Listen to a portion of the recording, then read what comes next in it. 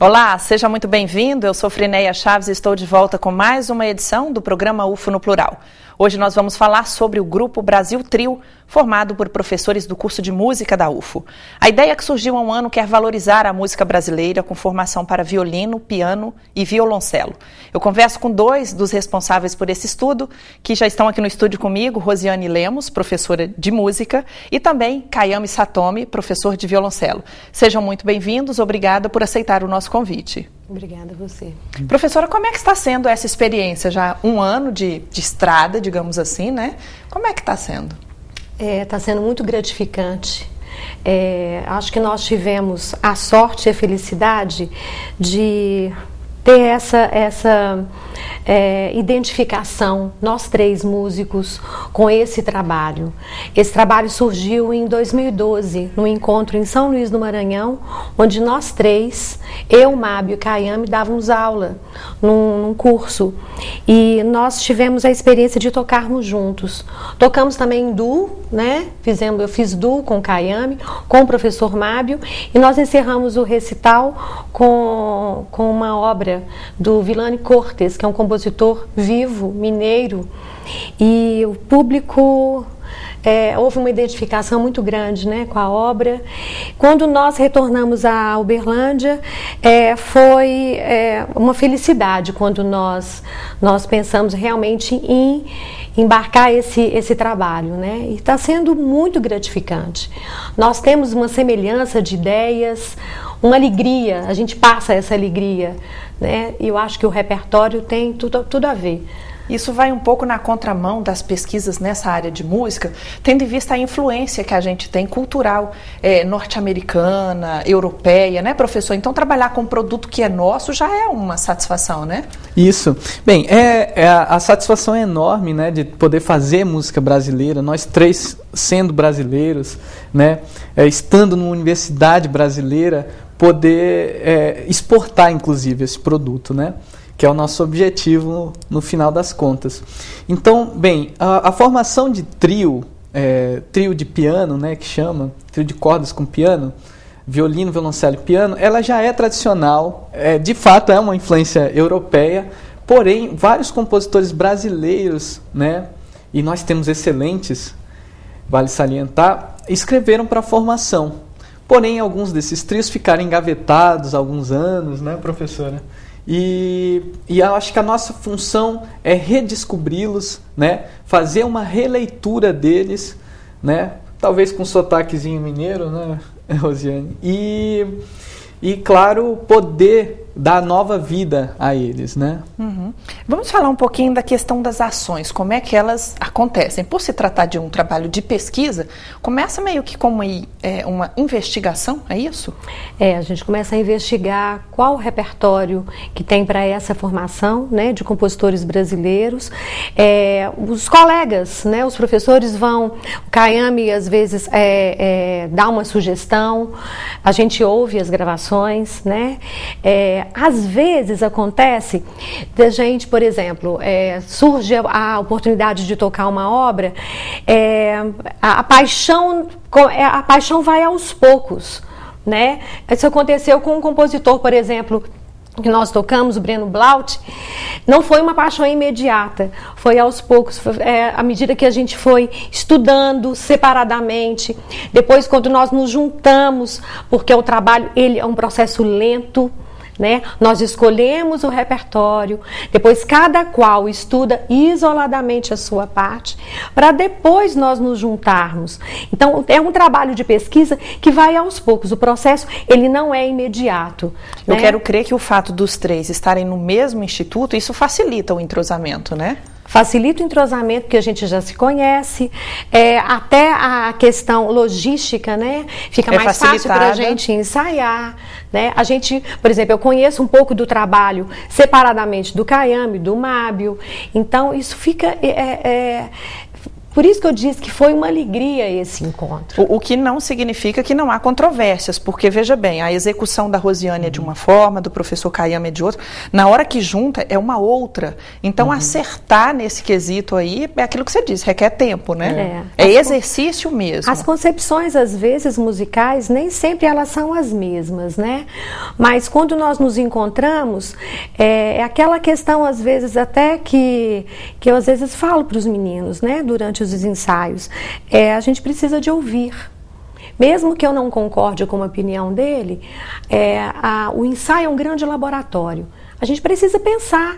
Então, vamos, vamos tentar dessa outra forma? Então, é um trabalho que permite também o atrevimento. Eu não tenho que ser fiel, eu posso inovar, eu posso criar, eu posso misturar. É assim? Às vezes o tempo até estabelecido pelo compositor, você pode às vezes ter um pouquinho mais de uma certa liberdade, é, dependendo de um, de um trecho que permite você é, valorizar mais harmonicamente. Então você pode esperar um pouco mais. Aí surgem as ideias de cada um, uhum. né, durante os ensaios. Uhum. E para definir o repertório, porque veja bem, música brasileira é de uma riqueza, né, é de uma pluralidade, né, uhum. é, uma riqueza muito grande. A gente tem aí a influência do folclore, né, do baião, são tantos ritmos. Como pensar assim, é esse que eu vou trabalhar? Bem, na verdade, a, a proposta do Brasil Trio é, é, buscar músicas que tenham também na sua concepção brasilidade, uhum. né? Raiz então, histórica, né? Que fale isso, do seu povo, né? Bem, que fale, é, isso que fale um pouquinho com o nosso sotaque, né? Com o nosso vocabulário. Então, a, a, nosso trabalho de pesquisa, inclusive na interpretação, visa salientar essa brasilidade, né? Isso que os compositores, né, com, com um jeitinho especial, buscam deixar é, é, indubitável que é brasileiro, né? Uhum. Vai ser fácil exportar, porque certamente é, é agradável, né? Uhum. Pensa bem mesclando tudo isso, né? E vocês trabalham só com compositores vivos ou não? Não, nem, né, nós, nós trabalhamos também com, com dois compositores é, no ano passado que, aliás, com duas composições né, de compositores que já faleceram, né? Se tratam do César Guerra Peixe, né, que é um compositor carioca que viveu muito tempo em, em Recife, né? E aí traz muitos elementos da música nordestina. Ele misturou muito, né? Porque ele está em dois extremos, né? Rio Isso. de Janeiro e Recife. Exatamente, exatamente. E por ele próprio ser violinista, né? O domínio da escrita de cordas é, é muito bom. Bem, e também o, compositor de Porto Alegre, né? O, o Breno Blaut, que a professora uh, Rosiane já citou, que é, que é um compositor que, que tam, morou no Rio, e aí, por isso, ele traz um elemento aí carioca, né? Uhum. Muito interessante de se ouvir. E okay. nessa escolha também, é, é, nós, nós tocamos a, uma obra do compositor Henrique Oswald, também já falecido, ah, e ele traz também uma característica da, da do, dos elementos da música romântica do final do século XIX. Uhum. Então, o, o repertório ele é bem variado, uhum. né? Nós vamos falar disso daqui a pouquinho. Uhum. UFO no Plural vai agora para um rápido intervalo. Você que está aí do outro lado, continue ligado, a gente volta já já.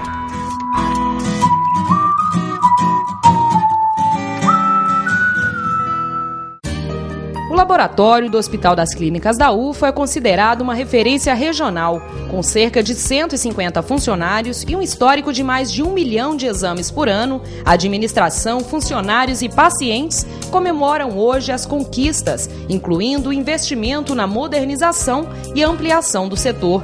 Além de Uberlândia, o laboratório atende ainda moradores de outras 30 cidades do Triângulo Mineiro e do Alto Paranaíba propor e ajustar modelos estatísticos visando a tomada de decisão e a definição de estratégia a serem seguidas. Estas, entre outras, são as tarefas do profissional de estatística. Com o mercado em expansão, o estatístico pode desempenhar funções em indústrias, empresas de tecnologia, hospitais e no mercado financeiro. Venha para a UFO, venha para a estatística.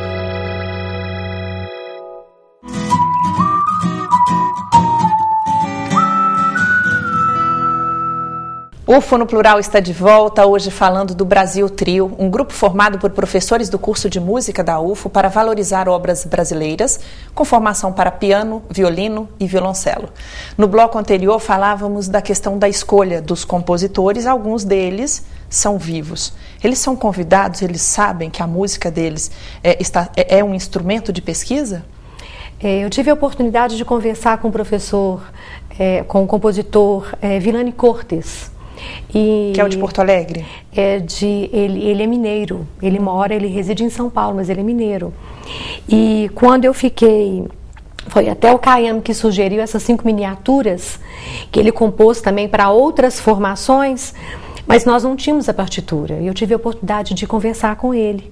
E ele, muito gentilmente, feliz, cedeu. ele, ele, ele é, cedeu a partitura e nós, agora, como proposta para agora 2014, é, até como sugestão do professor Mábio Duarte, que estudou muito tempo em Porto Alegre, nós, nós estamos agora com o propósito de estudar um trio é, do compositor Daniel Wolff, também compositor vivo, né? E como proposta para 2014. E se a gente for falar do ápice dessa pesquisa, são as apresentações públicas, né?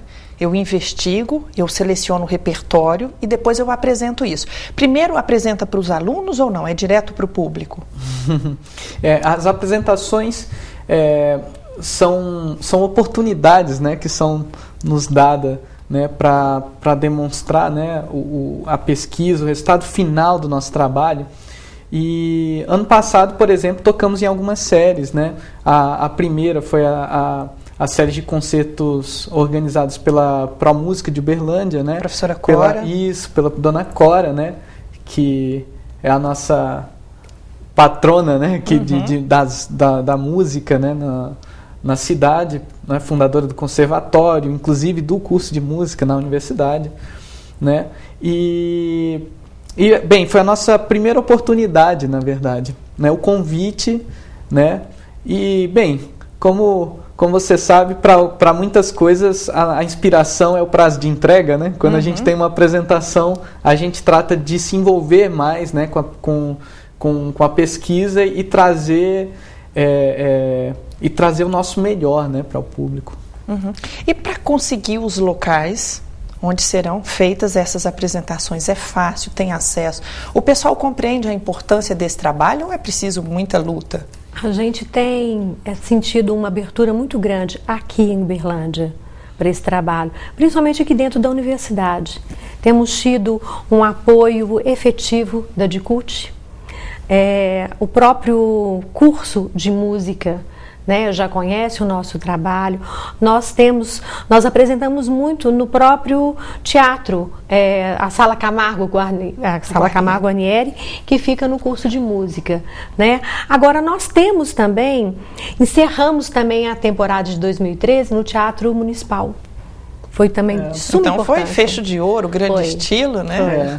É. é. nesse ponto, é bem lembrado pela professora Rosiane, o a, a, a DICUT né, tem uma importância crucial nos, nos trabalhos que desenvolvemos aqui no curso de música, né, é, o, o, com o Brasil Trio, né, é, é um, um, grande apoio, né, mas também essa parceria com a Secretaria de Cultura, né, que, da municipal, que, que nos proporciona, né, esse tipo de apresentação no, no nosso melhor palco, né?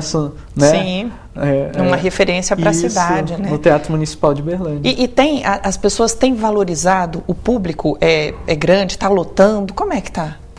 Está sendo, tá sendo bastante é, representativo. Essa última apresentação que nós temos no Teatro Municipal, é, nós ficamos muito felizes. A divulgação ela tem sido efetiva também, que aí seria papel de CUT e do curso de música, sim, né? Isso, sim. Uhum.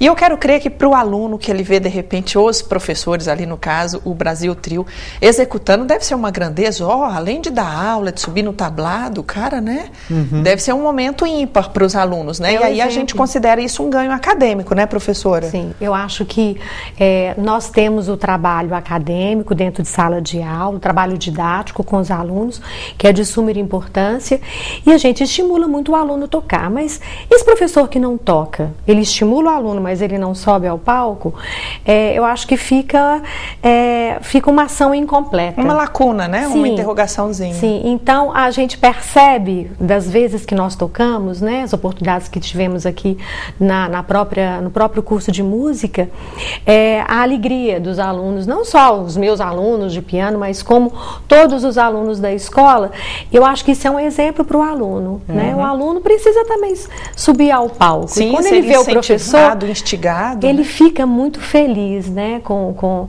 de ver que, que o o professor é, sobe, ele toca e ele faz um trabalho sério, né? Está representando bem cada compositor. Isso é um exemplo. É. Tem surgido já o interesse deles pela pesquisa? Ó, oh, não cabe aí, não vamos transformar o trio num quarteto, não existe já nesse sentido, professor? Bem, é, na verdade, o que eu espero que instigue é a formação de outros trios na cidade, né? É, ou de outros conjuntos de câmera, né, que também visem procurar esse, esse Brasil aí escondido engavetado, né? Que dos compositores que escreveram e que as obras ainda não estão sendo tocadas, né? E que poss, possamos aí borbulhar, né? Esse cenário do musical brasileiro com obras brasileiras, né? Uhum. Mas assim é muito importante também salientar que a produção artística é, é, dentro de um curso de artes, né? Seja ele qualquer dentro do, do, do nosso instituto, é, é muito, é muito bem-vindo como exemplo, né? E não só as apresentações, né? Gravação de CDs. É, eu acho que os alunos se inspiram e ficam muito contentes com, a, com, essa, com essa possibilidade, né? Sabendo que também um dia serão eles, né? Que estarão Vocês ali. têm se preocupado em levar esse trabalho para os campi da UFO fora de sede? Para Ituiutaba, para Monte Carmelo? Embora lá não tenha o curso de música, né? Mas vai que é. Tem um público, tem uma demanda latente ali e a gente desconhece. E isso, de repente, possa é, se transformar no interesse futuro de criação do curso nesses. É, eu tenho né, é, é, feito isso, né? A, agora, a problemática maior para o Brasil Trio é a questão do piano, né, professora? Que a gente precisa que tenham né? pianos é, nesses, nesses campi. Então, a gente espera que, que logo mais nós tenhamos salas de apresentações é, nos, nos, nos, locais onde a universidade, onde a UFO está atuando. Né? Então tá dado o recado aí para o telespectador que nos acompanha agora, Isso. prefeitos, secretários de cultura, né? Isso. O Brasil Trio. Vocês têm se apresentado em outras cidades? Sim. E o convite vem de lá, vocês que ligam, ofertam, como é que isso funciona? O último convite que nós recebemos, bem recente, foi do Conservatório de Tuiutaba no encontro de cordas, de cordas isso. né? Eles já sabiam do nosso trabalho. Nós apresentamos em Tuiutaba é, e temos agora para 2014 algumas é, apresentações também já encaminhadas. Nós vamos voltar em São Luís do Maranhão. Né? Algumas apresentações também já mais ou menos encaminhadas para Belo Horizonte, né? Então, Nós vamos falar então desse projeto 2014, já que a gente está encerrando o semestre, né? Uhum. A gente fala disso no próximo bloco. UFO no Plural vai agora para um rápido intervalo. Continue ligado, a gente volta em instantes.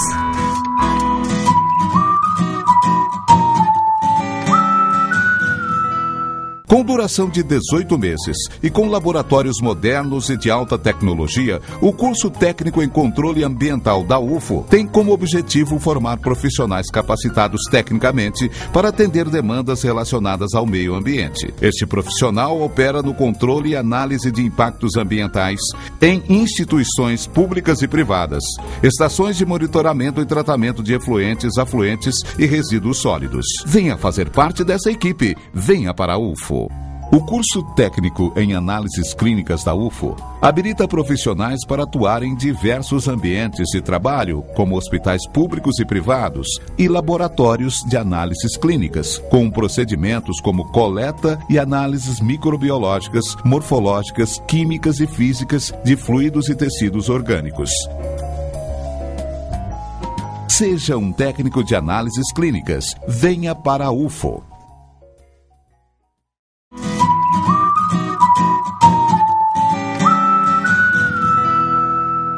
De volta com o terceiro e último bloco do programa UFO no Plural, hoje discutindo uma pesquisa de professores da UFO para valorizar artistas e obras musicais de nosso país. Os convidados são Rosiane Lemos, professora de música, e também Kayami Satomi, professor de violoncelo.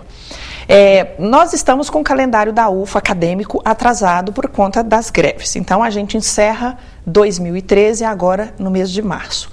Para 2014, quais são os planos para essa pesquisa do Brasil Trio? Nós já estamos estudando um trio de um compositor vivo é, de Porto Alegre, Daniel Wolff.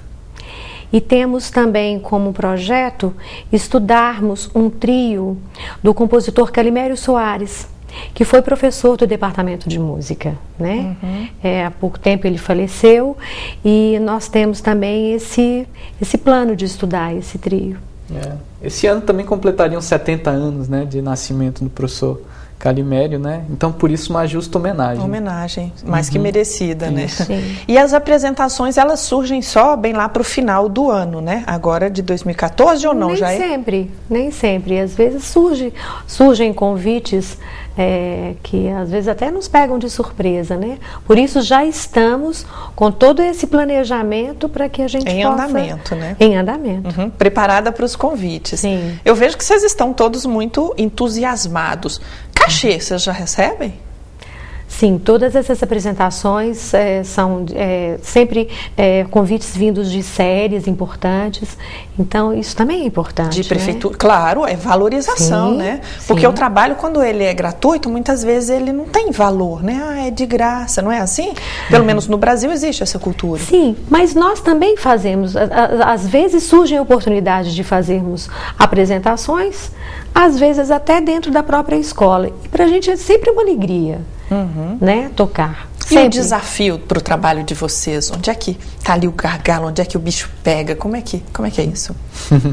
Bem, o desafio acho que é, é, é, é todo dia né, uma, é, administrar o, o tempo né, entre ser professor, ser artista, ser pesquisador, ser pesquisador né, trabalhar com, né, com, com, com ensino, pesquisa, extensão, que a gente tem que trabalhar, né?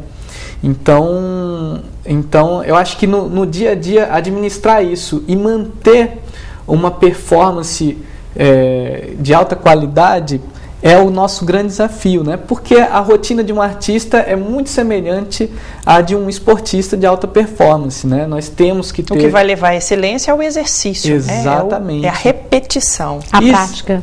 É, uhum, exatamente. A prática. Existe um provérbio, né? Que diz assim, você fica você abandona um dia o seu instrumento, ele te abandona dois, né? Uhum. Então... E com o instrumento, então, é mais difícil, né, professor? Exatamente. Essa também é a sua visão, professora? Essa conjugação de, de da, da, nossa tarefa didática com todos os projetos de extensão e a nossa grande paixão. Acho que a nossa grande paixão é o palco. Uhum. Adoramos dar aula, né? Mas a grande paixão é, é tocar. Que bom. É, eu gostaria que vocês destacassem também essa questão da, da, da influência que vocês acabam levando para outras cidades, de outras universidades. Isso acaba funcionando como um intercâmbio? Ó, a Federal lá do Maranhão pediu, fez o convite, por exemplo, para que vocês se apresentassem lá. Daí passa a ter um, um contato maior com o curso de música daqui, os cursos de lá. Eu acho que o fato de sermos professores, né, e termos essa grande ligação com outras universidades federais, isso ajuda a, a termos essas oportunidades mais abertas e esse diálogo também com, com outras universidades. E quando a gente considera a própria formação é, do trio e a naturalidade de cada um de uhum. vocês, pesquisadores, isso facilita, porque um é mineiro, o outro é lá do Nordeste, então, ah, lá na minha terra eu vou divulgar o meu trabalho. Uhum uhum. né? Porque o trabalho não é só apresentar, pesquisar e deixar aqui, né? Sim. O professor no primeiro bloco ele diz: nós queremos exportar, né? Eu quero crer que a própria música brasileira vai facilitar isso, mas tem que ser feito esse trabalho de campo. Quem cuida disso e de que forma? É, cada, cada é, componente do grupo é, tem, já, já tem essa, essa, essas aberturas, né? Então, por exemplo, eu sou de Belo Horizonte, então os convites é, surgem com mais naturalidade. É a segunda vez que nós estamos voltando para São Luís, o Mábio de São Luís, professor de violino. Né? Uhum. O Kayami também já tem outros trabalhos também paralelos que ele faz, a não ser o trio, que também abrem essas outras, essas outras oportunidades de nós nos apresentarmos. Uhum. É, mas a formação realmente vale, vale salientar, né? O professor Mabi, por exemplo, é, ele é do Maranhão, mas estudou em Brasília, em Porto Alegre, nos Estados Unidos, então, na Hungria. Rede de contatos, é, tem é? uma rede de contatos grandes, né? É, eu, eu estudei na Paraíba, na Alemanha, depois vim, vim para cá, né? Então, assim, nós vamos nós vamos criando um network, né?